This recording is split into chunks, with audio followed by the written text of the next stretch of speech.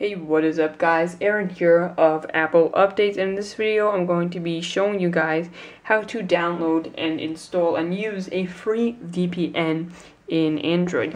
Now of course for the sake of this video I am using my Nexus 7 uh, so let's go ahead and get started.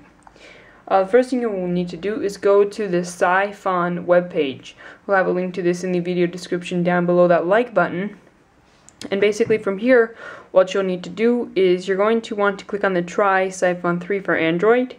Um, and it is completely free and, and open source. So basically you're going to download that and then you will have an app here, over here I have it saved in the tools um, folder. So just click on Psiphon free and then go ahead and click on start.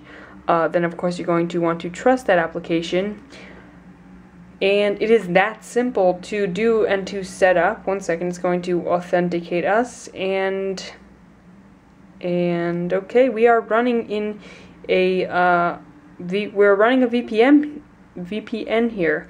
Um, so let's go ahead and open browser. We're gonna open the Psiphon 3 browser right there. Um, doesn't look like it's working. Um, okay, but anyways, if you want to tunnel the whole device, you will need to be rooted. Um, but basically, um, right here, we're having trouble connecting, um, but it'll connect any second. It always connects. So uh, let's let it do its thing over here for a second. Uh, and again, it is connected. Um, I don't know why it was buggy there, but let's go to there, and then you can see that uh, it works. Let's go to uh, Amazon.com and then let's visit that web page see if it works. Yeah so we are on a VPN here. Um, and you know it's pretty straightforward and pretty cool. It is called Psiphon with a P. Um, of course you could check it out in the link to in the link in the video description.